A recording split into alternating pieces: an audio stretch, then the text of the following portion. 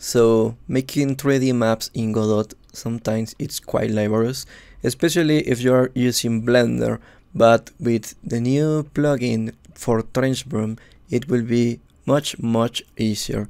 And I'm going to show you how to install it and how to have an incredible map like this or like this one.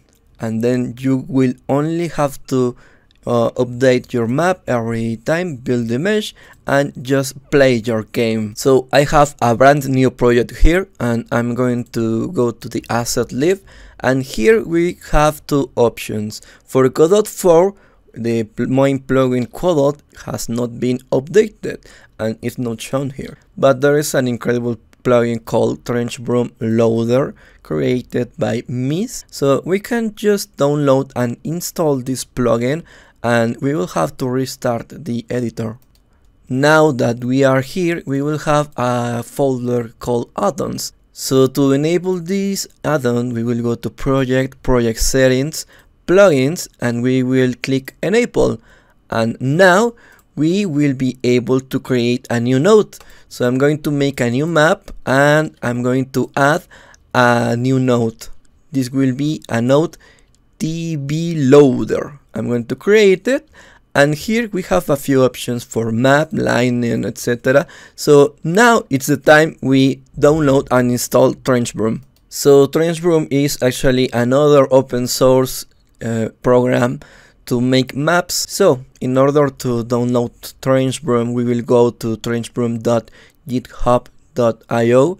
We, we will hit download and now at the bottom there are all the versions of TrenchBroom we can have and in my case this will be Windows 64-bit version.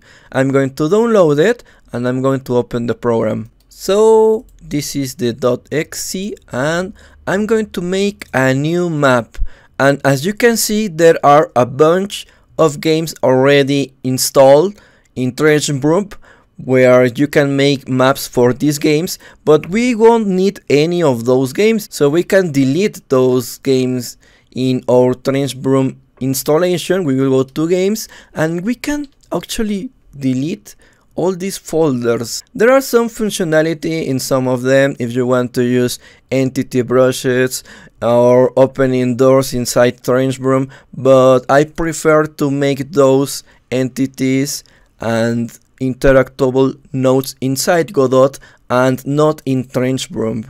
So I'm going to make a new map and there will be no games here. Instead of those games that are pre-installed in TrenchBroom, we will go to our TrenchBroom loader page inside GitHub by just clicking in contents view files and this will open a new window and it says right here that there is another website for this TB loader in GitHub so we will be we will have to open that one and now we have to download the game for Godot. This is inside this folder TB game config so we have to download all the project as a zip file and extract it in another folder. So this is the folder for the new plugin for TrenchBroom and inside TB config we have all the configurations for our Godot game engine. So we can use it inside TrenchBroom. So I'm just going to copy these files and inside our original TrenchBroom installation inside the games folder I'm going to make a new folder for our new game Godot so I'm just going to copy and paste these files for a new game inside this folder. And now when I open Broom I can now make a new map and I will see I have a Godot game here. I'm going to choose Godot for a new game for a new map. And now we have our TrenchBroom loaded and here we can make some incredible maps quite easily. So for this to work, this is not a tutorial for TrenchBroom. There are a bunch of those out there. Here you can make curves, you can you can make geometry quite easily. For instance, if I want to make a small room, well, I can just grab this side here, pull it outside, and now make a wall and the same for all the other walls and as you can see modeling in this program is incredible easy and you can make some incredible geometry and something quite complicated with just a few clicks. So I'm going to save this map in a new file and I'm going to make sure I save this .map file in my new Godot project so I can easily access it and if I go to my Godot project and search for the project here for the file here it's not going to appear but if I right click and open file manager I will see my test.map inside my files. It seems Godot can't read those files. If we want to load this new map inside our Godot, we just have to add a new TB loader node and in the map resource we click it and we open it and now we can build our mesh and here we have it. We have our new map that we made in inside TrenchBroom and applying textures it's actually incredible easy. I can just make a new folder, call it textures and drag and drop image inside here. I'm going to use the prototype textures that Kenny O'Neill has on his website. I'm going to choose the green textures and make sure these textures are in PNG format or else the TrenchBroom won't be able to read them. So we drag and drop them. It, uh, we have to go to we have to go to view preferences and here we have our Godot game path selected. And we have to select the path of our project. So TrenchBroom can read the texture uh, folder. So this is the folder of my new Godot game.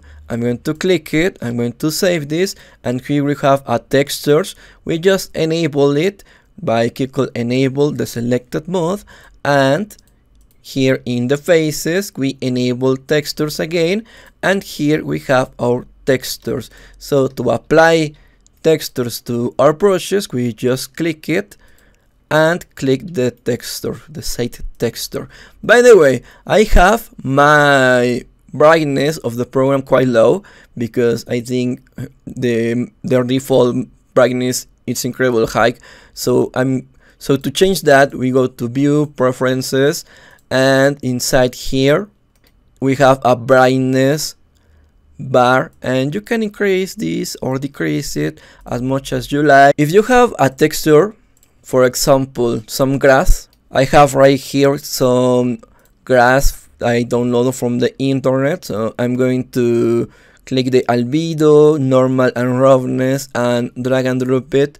But not in textures. I'm going to make a new folder for material textures because I don't want TrenchBroom to be able to read those uh, in case these are in PNG format, which they are not. But anyways, we can make a new material from this. I'm going to click resource new standard material 3D. I'm going to save it as grass material.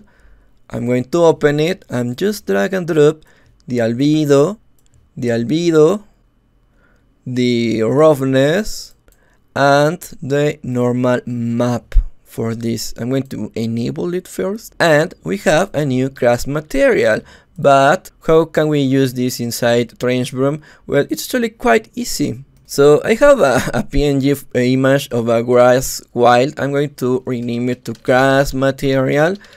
And I'm just going to drag and drop it in my textures folders so we can see that Godot will read the grass material in, instead of the PNG image. So we update this and here we have a grass material. It's gonna it's not going to look incredible incredible nice inside TrenchBroom i'm just going to use it and now i'm going to save this but when i build my new mesh well it's going to use the texture because i have to place the grass material inside textures again and now we can see that TrenchBroom is reading the grass material instead of the png image. If you want to make some terrain inside this program, it's actually quite easy. I'm going to go to the grid 8, make a new brush, I'm going to click C, and now we can just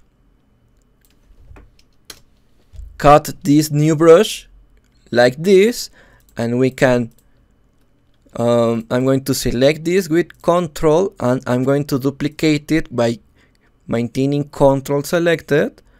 And I'm just going to make like four grass of these brushes so this one this one and this one. Remember to keep control push and now we have our and now we have our small terrain so we can just uh, by selecting one of these and hitting control you can select a bunch of them. So remember uh, this is a modeling tool so getting used to it is it will take a little while as well but the program is is way easier than blender to make 3d maps maps we can select all of these and now we can hit b to change the vertices and we can alt to push it upwards or to push it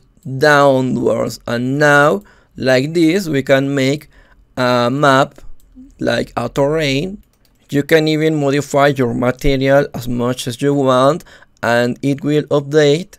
And as you can see the plugin also creates a collision automatically and it also creates an entity geometry brush. So that's how you can use TrenchBroom and Godot inside Godot 4.0 and as you can see it's quite fun and this program I recommend it to make your maps if you want to make some more boxy maps or but if you want to make something more organic well maybe Blender will be your next top choice. Anyway, that's all for this video. I hope you liked it and I'll see you in the next video.